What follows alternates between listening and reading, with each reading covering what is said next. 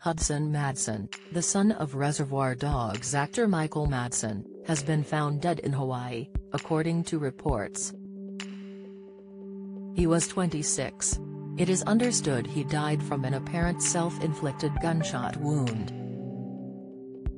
A spokeswoman for the Department of the Medical Examiner in Honolulu told The Sun on Tuesday morning, I can confirm Hudson Lee Madsen, 26, died by a gunshot wound to the head in a suspected suicide on the island of Oahu.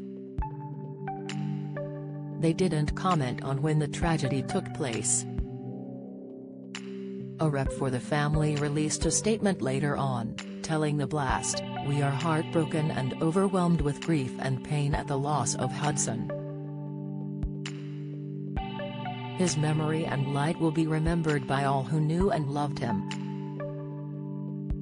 We ask for privacy and respect during this difficult time. Thank you. A source told The Sun that Hudson's mother, Diana, was currently traveling to Hawaii. She is also an actress, and starred in the likes of The Price of Air, and Fall, The Price of Silence. Diana married Michael in 1996, who is known for his roles in Kill Bill Volume 1 and 2 and Reservoir Dogs. Hudson, the godson of legendary movie director Quentin Tarantino, served time in the U.S. Army, and is said to have spent time in Afghanistan. He was based at the Schofield Barracks in Oahu, home to the 25th Infantry Division. He and wife Carly, who he had married in 2018, had been living in Wahiawa, Hawaii since August 2019.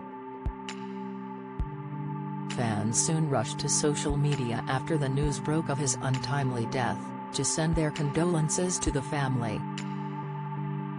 Sad, may he rest in peace, one said. A second added, this is so upsetting. Thoughts are with the family. Another gone too soon, I hope has found peace, a third commented.